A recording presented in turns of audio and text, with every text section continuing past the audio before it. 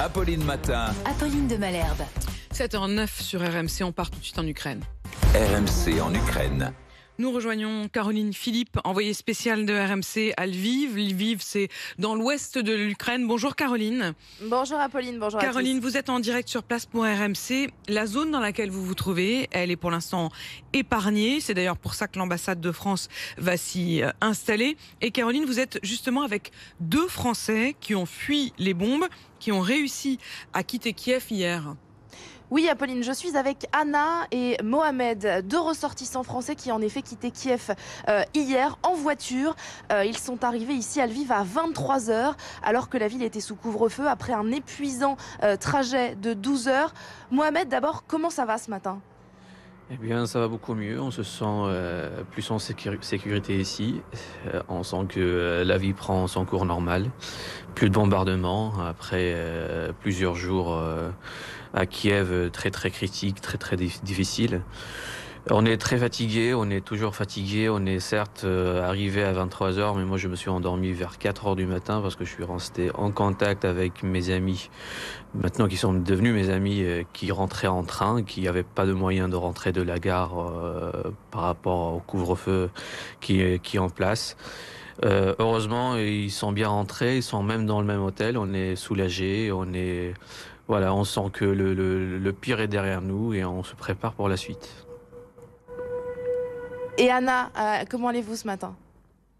Je vais bien, euh, je suis euh, un peu fatiguée après la route euh, fatigante, euh, mais et la situation qui se passe en Ukraine, ça me fait très très mal au cœur.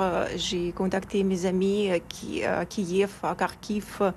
Les villes a, a été bombardées de nouveau et ça, ça me fait pleurer vraiment. Pour-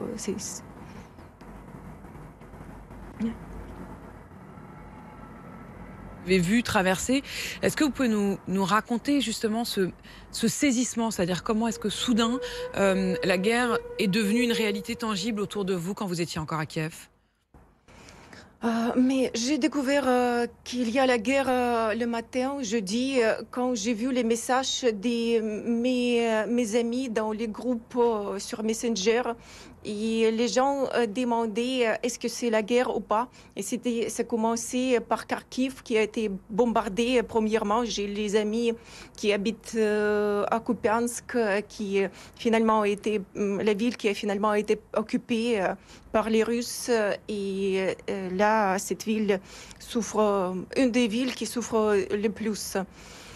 Et tous les gens étaient choqués par la situation et euh, personne n'a pas pu sortir au travail. euh, les gens ne savaient pas quoi faire. euh, C'était, c'était le choc, le choc violent.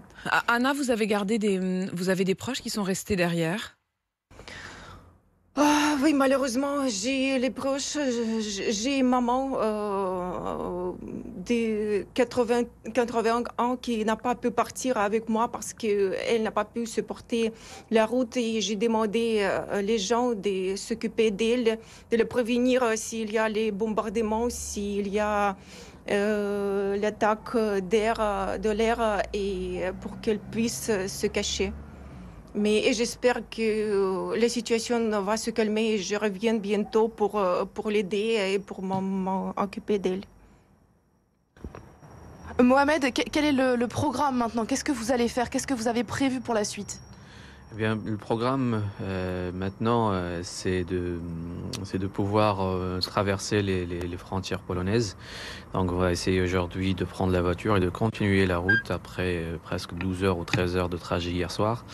Hier, euh, enfin pas hier soir, hein, hier tout court. Donc, aujourd'hui, on va partir vers les, vers les frontières polonaises.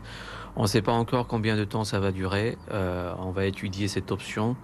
Et l'idée, c'est qu'on puisse traverser les, les, euh, les, les- les frontières polonaises et qu'on, de mon côté, de, de- que je prenne euh, le- le- l'avion vers le premier avion vers, vers Paris, que ce soit de Varsovie ou de Cracovie ou n'importe quelle ville où il y a un aéroport. Euh, Apolline, je me permets, Apolline, Oui, Anna, un message euh, pour, pour la France. Euh, Apolline, je, je voudrais euh, m'adresser à tous les Français qui nous écoutent. Euh, Est-ce que c'est possible? Oui, Euh, allez-y, allez-y, je vous oui, écoute, oui, Anna. Oui, oui, oui. Mais, chères, chères mesdames et, mes- et messieurs, la Russie n'a pas seulement attaqué l'Ukraine, la Russie a attaqué l'Europe. L'invasion russe, c'est une atteinte grave aux droits et libertés des hommes. Poutine a violé toutes les règles internationales. Les Ukrainiens font preuve d'une détermination et d'un courage exemplaire.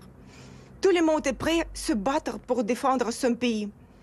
Aujourd'hui, ce ne sont que les civils qui meurent, les femmes, les enfants, les personnes âgées meurent. Les meilleurs des gens n'ont plus d'habitation, ils doivent se cacher dans le froid glacial de l'hiver. Vous pouvez aider l'Ukraine. Pour ça, la Banque nationale de l'Ukraine a ouvert un compte spécial. Vous pouvez faire un don sur ce compte. Cherchez le site officiel de la Banque nationale de l'Ukraine, National Bank of Ukraine. Euh, vous y trouvez les détails bancaires pour envoyer l'aide nécessaire pour les soutenir. Vive l'Ukraine, vive nos euros. Merci. Merci Anna. On entend évidemment euh, votre bouleversement. Caroline, vous êtes avec Anna et, et Mohamed. Oui, et il y a encore 1000 ressortissants français comme eux ici en Ukraine, à Kiev jusqu'à présent. Apolline, la consigne était de ne pas bouger. Euh, hier soir, Jean-Yves Le Drian, le ministre des Affaires étrangères, a annoncé que les Français qui y étaient pouvaient désormais quitter la ville par la route au sud. Merci beaucoup, Caroline. On pense bien sûr à Anna, à Mohamed, euh, à tous ceux qui tentent de, de fuir. Caroline Philippe en direct de Lviv ce matin sur RMC.